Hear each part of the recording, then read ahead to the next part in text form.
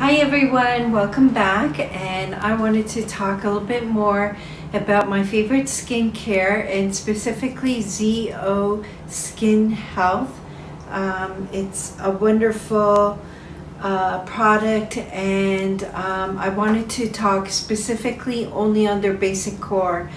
Um, if you do some research on YouTube, uh, you'll see some clips with Dr. Obagi and he's talking about the importance of um, bringing, if you have a skincare problem, to bring it back to the basics and you should always maintain the basics, which is really uh, to cleanse your skin, to remove any dirt or sebum, um, to scrub it, and to use um, oil control or basically um, a toner. So what he's trying to say is, yeah, the cleanser is to remove the dirt, so it has to be appropriate pH level. And um, with the scrub, it's to, uh, it's a physical exfoliation. And I find as you age, you need to um, exfoliate more frequently because when you're getting older, the cellular turnover is a lot less. And then of course the next step is the toner. And the toner would be really helping disinfecting um, maybe any breakouts. And the toner that I prefer is um, something to soothe my skin. And it's not from the scrub or the cleanser. It didn't strip anything away. But because I'm a lot older. The air is very dry. There's no humidity inside my home. I get really dehydrated um, and the air is so dry. So that's why I always say I have normal to dry skin. But yeah, I'm getting some breakouts now. Part of it um, is definitely from uh, wearing the mask because of this pandemic. So I'm not happy with that, but we need to wear a mask. I need to get out, run my errands, so or go to work, and it's uh, I need to protect myself. So this is very understanding.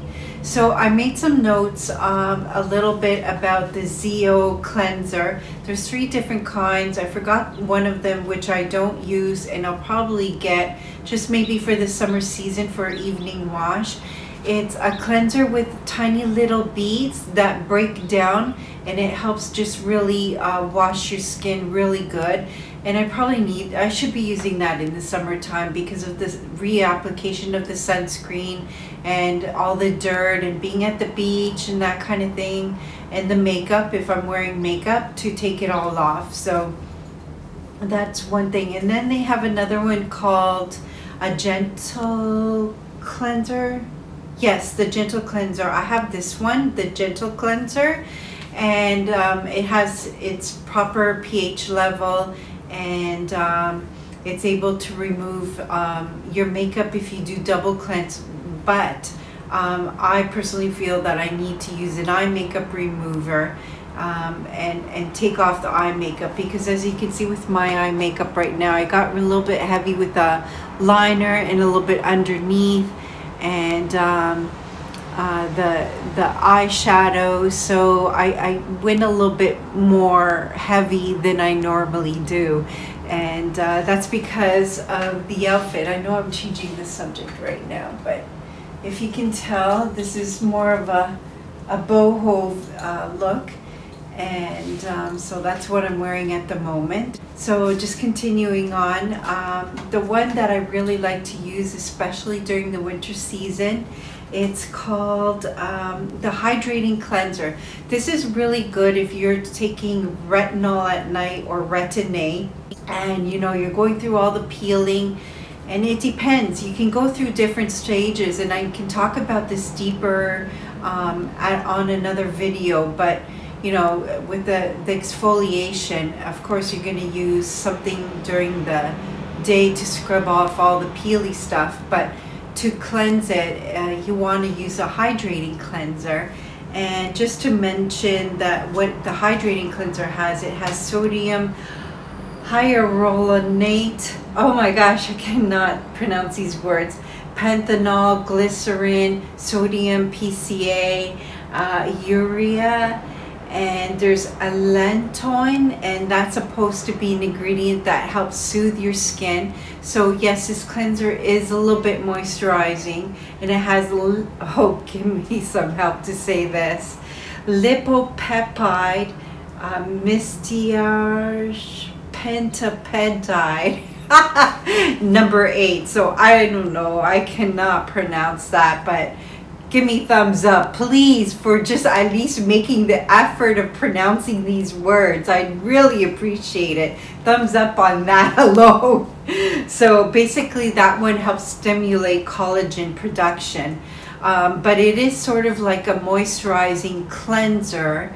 Um, I find uh, because I can get acne prone, um, it doesn't bring any of that out just to give you some peace of mind if you're hesitating if you're acne prone combination skin but you're going through a phase maybe for one month in the winter when it's like minus 35 uh, you could use this and you don't have to worry about promoting uh, more acne out of that just to give you that peace of mind and just to move along, um, I cannot find a dupe of this at all for a drugstore brand.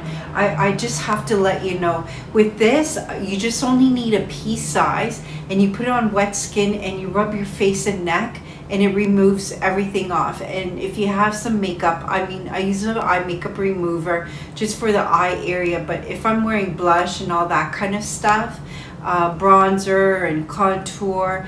Um, doing a double cleanse of this is enough. So I cannot find a dupe of this and just a pea size. It's really concentrated.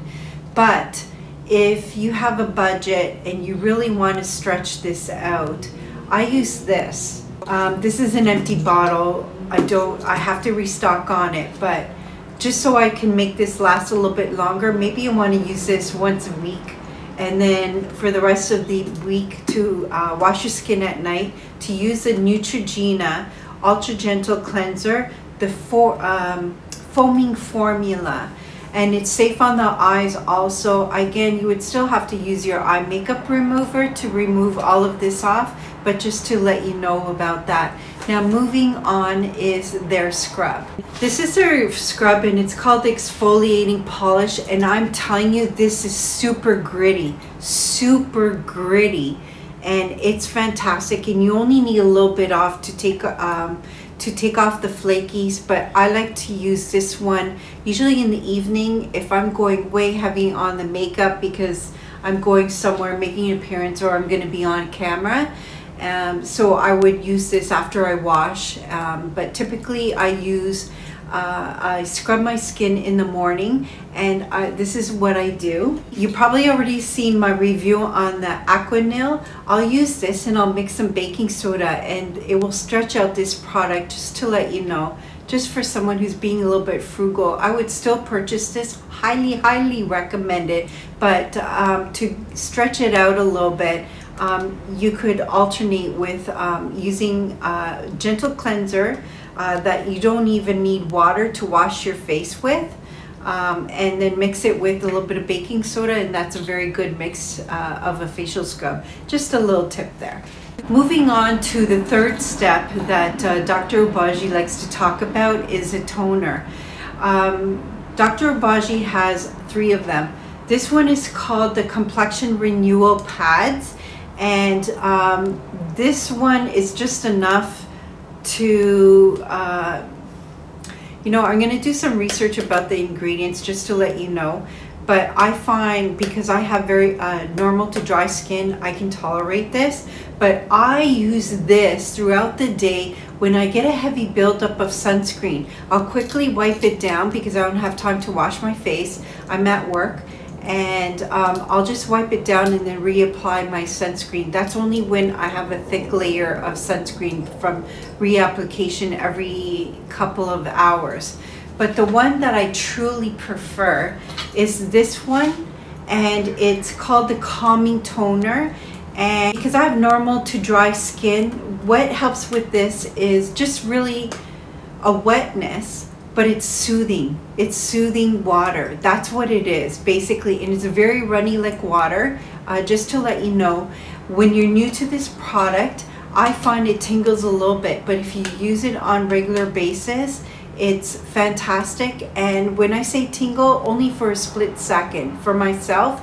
But if it's really raw and dry, uh, windburn, yeah, might tingle, tingle just up to a minute just to let you know. But then the same with the Missha Time Revolution. And I talked about this on my other video. So with this one, yes, um, it, it can tingle for a split second and I find this one is stronger, better quality. But when I say stronger, not a burning sensation, just to let you know. So both of these are good. This is an alternative for price wise. I think there's only about five to ten dollar difference. So if you know about a toner um, that's very soothing and proper pH level, would you please post that below so I could find an alternative to this one? Uh, I would really appreciate it. Um, this one I like to use daily, but with these three products, this is what I use all the time. And sometimes this is all I need and then sunscreen on top of it. And that's my morning routine. Um, and then at night, it would be the cleanser. Um, I, I don't use the scrub as much, but I could if it's heavy uh, makeup and I just want to do a little bit extra. And then of course my retin-A and that's keeping it at its bare minimum. So if you're on a limited budget just remember to use cleanse scrub and tone and it depends on your skin type. And if I can find a dupe I will mention it. So take care. I hope you really enjoyed this and uh, please comment below on your opinion of ZO Skin Health. What do you like and how long did it you use it before you have formed that opinion and what you use on regular basis. So I'm really interested and take care. Bye.